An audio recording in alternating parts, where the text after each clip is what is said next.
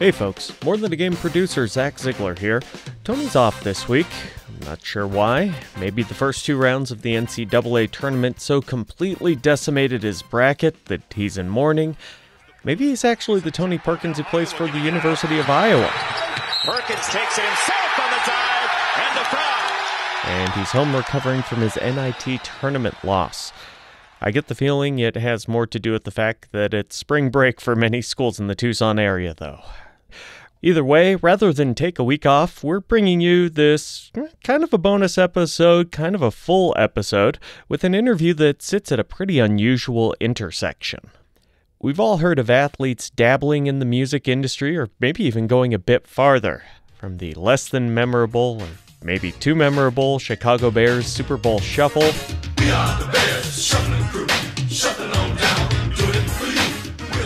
To Arizona Wildcat Harvey Mason Jr.'s post basketball days working on music projects with artists ranging from Stevie Wonder to the soundtracks of movies like Sing and Pitch Perfect.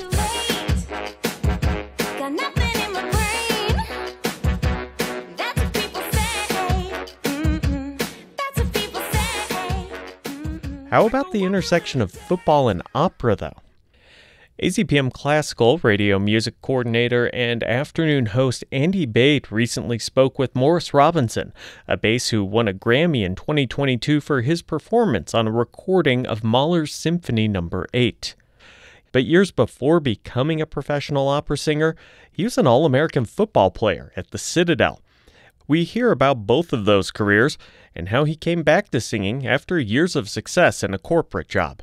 Andy takes it from here. Your story is pretty well known, but there are always listeners who just are not familiar with it. So, would you give us just a synopsis of how you got here? I'll give you the short version. Okay. But I um, I went to a high school performing arts in Atlanta, Georgia, and uh, I was in the marching band. I got to the first game of the marching band and decided I don't want to be in the marching band because all the cool kids are on the football field. So I went back to the uh, head of the school and said, if I join the chorus full time, can I quit the band and play football? So I became a singer so I could play football, actually. That's, that's the, the root of the story. Uh, my high school was pretty advanced. We did the Mozart Requiem my junior year, we did the Haydn's Creation my senior year. I got all the bass solos for that. And uh, when it became time to go to college, I decided to take a football scholarship instead of a music scholarship. So I ended up at the Citadel, which is not known at all for its musical program because there is not one. But I was the director of the gospel choir. I was also one of the captains of the football team. I made All American. Had a really good time there playing football and getting some discipline. You know things that you need there. I graduated and went in corporate America, and uh, at the age of thirty, decided to go back into uh, giving this thing called vocalism a shot. And uh, I auditioned for a weekend program at the New England Conservatory of Music, and uh, they heard me sing the national anthem and asked me to join their opera studio. I joined their opera studio, and I was doing a production of Michael Balfe's Satanella, it's an operetta, and the head of Boston University Music Opera Institute uh, heard me and asked me if I'd consider auditioning for our program. That's kind of how it all started. Well, there's a lot to unpack there. yeah. Um, first, you know, I, I, know growing up, um, I was in the band as well. I, I didn't sing until I was in college. Um, so that was a big change for me at that point. Um, ended up doing choral conducting. But um, there's often a, a, a, dichotomy between the arts and sports, and um, it's a, a choice that often kids are forced into from a very early age. Um, I'm wondering if you've ever had any thoughts about how we could make them not so competitive against each other, but maybe working uh, in complement to one another a little better. You know, I think as the maturation pr- process continued, um, the dichotomy between the two kind of melded. Uh, there grew an appreciation from the guys I was in the locker room with with the theme that I can do that was kind of odd and a bar trick at one point. They were fascinated by it, but going up until that point, it certainly was a dichotomy. It was certainly some uh, a war between the two, and I represented each you know each side. I think in retrospect, at the ripe old age that I am now, that I probably excelled in sports really well because I wanted to justify my musical capabilities. Um, and that's just me being philosophical. You know, later in the game and looking back upon my life, um, I love sports. I love what it did for me, and I do think that the two aren't very far apart. And if you just take a time and, and analyze the two, when your body is your instrument, it takes a certain amount of discipline to pull this off. You have to keep up your voice. You have to keep up your body. When you're working out, you're coaching. You know, you're taking voice lessons. You know, you you have the ability when a conductor makes a suggestion to make implementation of that suggestion immediately, or when a coach says the blocking scheme changes, he went from a three three to a four eye technique. You still got to change. You got to change the blocking scheme because we got to block this differently. So the ability to adapt on the fly. These things are not very far apart from one another. And uh, you know, as little boys, you know, the tough guys are the athletes. The uh, not so tough guys are the singers. And you can you have to pick a side early on. And I chose to kind of walk down the middle and uh, and be equally good at both. And I think, like I said, in retrospect, it allowed me the freedom to be good at music because I was able to be tough with those guys too. So I don't know how you bridge that gap though, other than pointing out the similarities and generating mutual respect, which I've found has come, like I said, with the maturation process. So. Yeah, well, I think that the word there, the mutual respect, that's probably the key. Well, if you look at the NBA, for instance, look at Shaquille O'Neal, look at Kobe Bryant, look at Allen Iverson. Those guys all made rap albums as soon as they became millionaires as athletes, you know. And uh, and if you look at these celebrity basketball games, every R and B singer, rap rapper, hip hop artist, rock and roll artist, country artist, they all want to go on the basketball court and play basketball with these guys. So the mutual respect is there. Uh, I don't know if it's if it is based in adulation uh, from the fans or if it's based in just respect for someone that can do something that I don't do very well, but always wanted to do. So if if people look at it from that perspective, I think that they, they aren't very far apart. You made another decision though, as an adult, that had nothing to do with either. Uh, maybe it was just you needed to eat, you know. But yeah, you know, you got a job that wasn't in music or in sports, and did that for a while and then it was another major transition to, to leave that when you had family responsibilities. Those are big decisions. Well, there's a certain amount of security that comes with that decision early on. You know, going to a school like the Citadel, uh, you're surrounded by people with like minded uh, goals. And the goals are to be successful and be financially secure and to obtain the type of occupation that can provide you and your family with all the things that they need. And I was well on that path. That was kind of the, the blueprint that was laid out before me. Uh, no one comes from there and wants to major have a major musical career. You go there, you want to get in corporate America, or you go into the military as an officer and you kind of establish your life there. You plan the next 20 years, you're going to work really hard, put up a nest egg, retire. You know, that was kind of the, the blueprint. And I was following that. I came right out, walk, I walked into a job with 3M. I did that job for about five or six years, and I left and went to a division of Exxon in Monsanto, selling thermoplastic elastomers. I was regional sales manager. I had a company car, a expense account, you know, um, corporate American Express, you know, the whole thing. I had a house. I was in my second house by the time I quit singing. But, you know, it, it also, there was a point in my life, especially with the second job, where I, I knew after singing at weddings, countless weddings and singing the, the, national anthem at events, I knew that I felt like God put me on earth to do something other than to sell Santoprene to Bic and uh, and to Colgate for their toothbrush handles. You know, I, I, was not put on this earth to just sell raw materials and make somebody else rich. And um, I wanted to find out why, and that's where this all came from. So that still had to be a big step. And I, I sometimes wonder maybe I should be interviewing your wife uh, because she must be a remarkable person to to stand by you and support you when you had all that going for you, and then. Even at best, opera is a risk because there are no guarantees. I mean, you might be good, but yeah. you you got to be better than good yeah. if you're going to make a living at it. And then and, you got to be lucky and chosen too. So. Exactly. um, she didn't just stand by my side; she kicked me out the house. It was her, you know, because of my background. Security was always very important to me, and uh, I didn't have a kid at the time, which probably made it a lot easier, but. Um, my background was solidity, security, play it safe, get to the end and win. You know, her background was, you should go for it. Why not? We don't have anything else going on. You know, try it out. I'm here, you know. So it was, she was always the one that kept saying, "Go for it," you know. And then I talked to my other friends that were in corporate America, walking the same path as I was walk, walking, and they were very encouraging too. Like, you can always come back and do this. You know, we're we're stuck here. Go try something else. So, me being a Citadel graduate and having this regimented mindset, I had um, I put forth goals I was going to give myself two years to not worry about the financial security, to not worry about the 401k, to not worry about, you know, building my nest egg. Two years to just try this thing out. If it doesn't work in two years, I have a hundred friends that I played ball with, I graduated with, that will give me another job. I can pop back in there into you know middle management and become a VP after about five or six years, and you know at least I tried, you know, but I never looked back. I gave myself two years, and within probably two months, I was already singing The King of Aida at Boston Lyric Opera.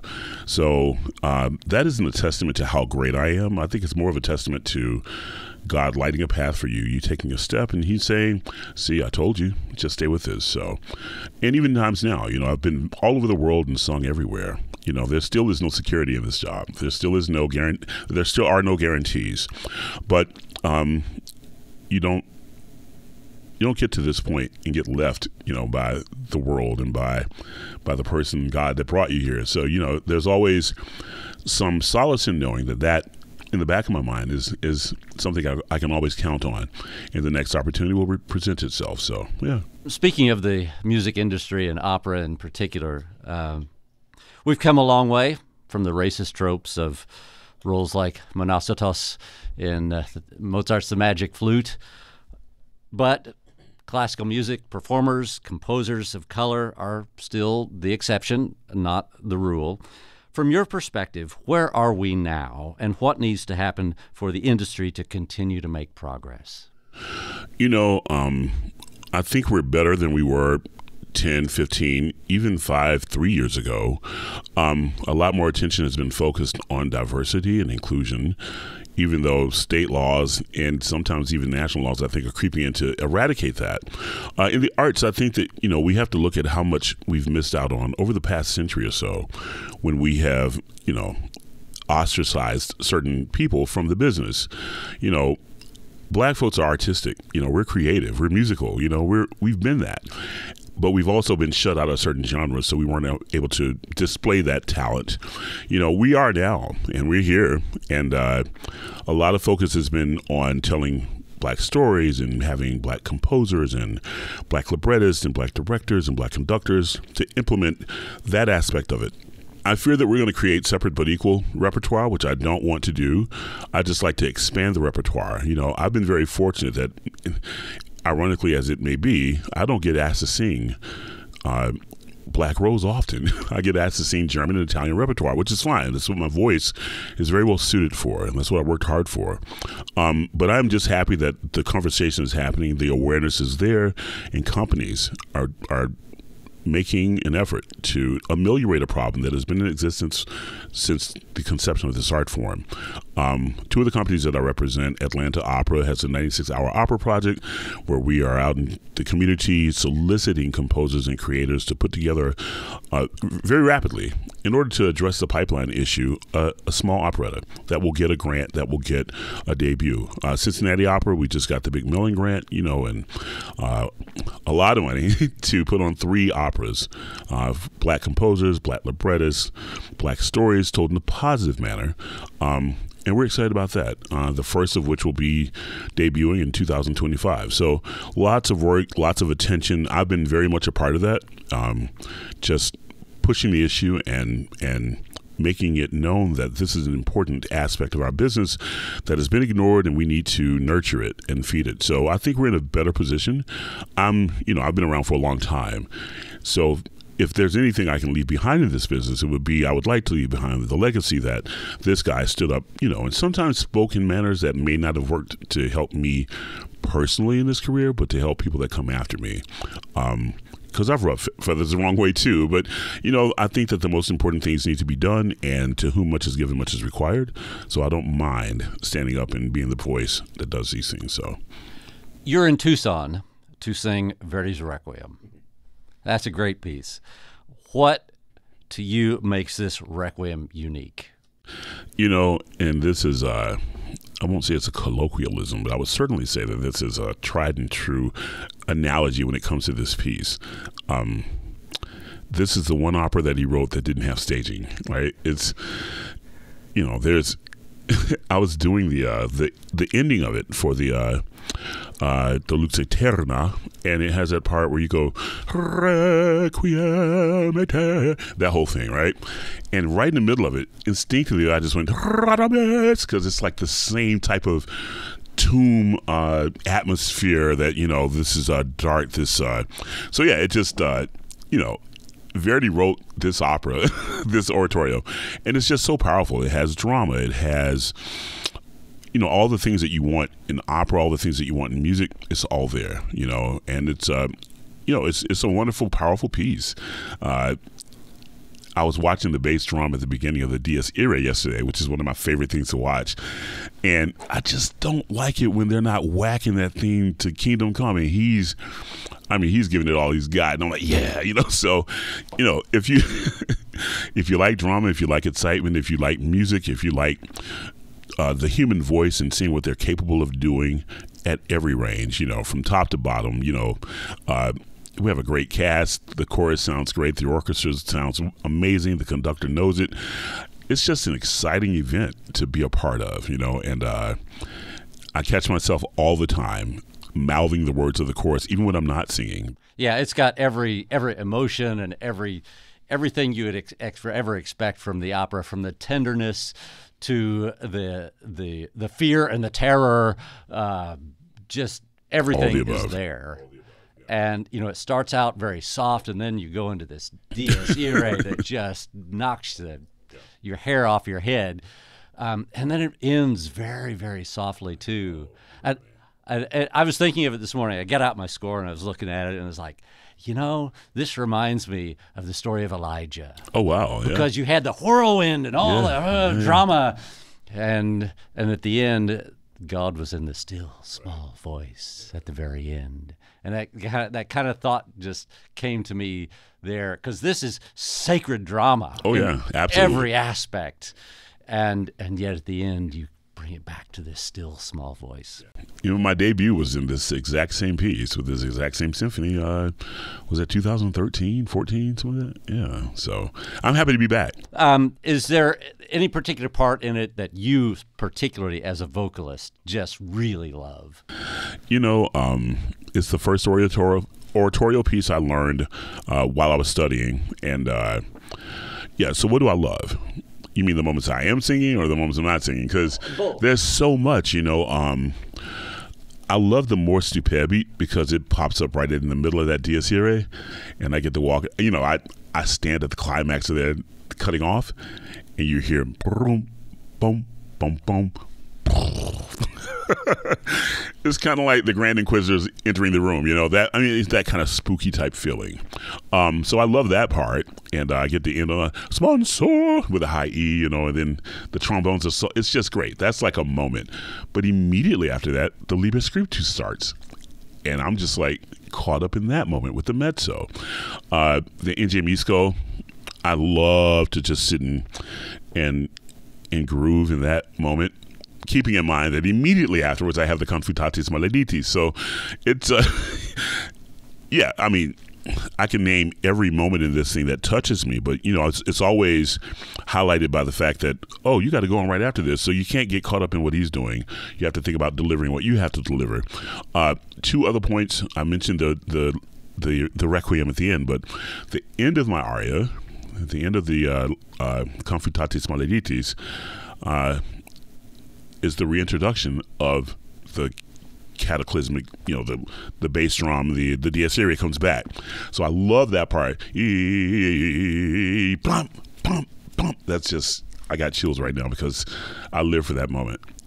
Not just because I'm coming off the high E, but because it's a great moment. So, yeah, and, and it it seems to me that you know every great opera, just like every great piece of sacred music too, um, in some way really speaks to us as human beings at a core of who we are and what we are.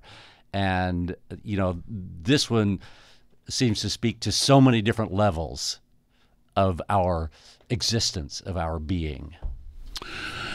And the ending of such, right? Yeah. absolutely. And so, the ending, yeah. which gives you in mind. Although, even with that ending, the Libera me, that, that's, that's hope. It is with hope, yeah And uh, I was giving the soprano a hard time yesterday because she gets to sit there and watch us all just go at it for two hours. But then the last 20 minutes, it's all on her, you know. By the, you know, I'm, I'm wiping my brow. I put my score up and it's like, okay, entertain me now because this is going to be great. So, you know, it's a great piece. Um, spiritually, emotionally, vocally, musically, it's just very, very refreshing to be able to come back and revisit this piece again. So I'm honored to be here. Well, we're honored to have you here. Morris Robinson, uh, thanks you for sharing your time today and your artistic gifts with us here in Tucson. Well, thank you for having me. That was AZPM's Andy Bade talking with Morris Robinson. You can catch more of Andy's interviews at azpm.org under Classical Extempore. And that's it for this episode of More Than a Game. Join us next time as Tony Maybe returns after cleaning out his locker in Iowa City, and we hear about fan travel to sporting events and baseball played by its original rules. This show is produced by me, Zach Ziegler, with mixing help this week from Annalise Wiley. Our news director is Christopher Conover. Our logo is designed by AC Swedberg. Thanks to our marketing team for their help in launching this podcast.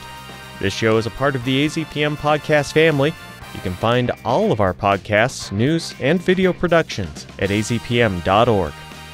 I'm Zach Ziegler, returning to my spot behind the scenes. We'll see you next week.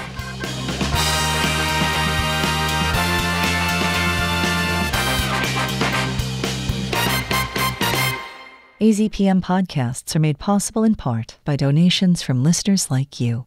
Learn more at support.azpm.org. Thank you.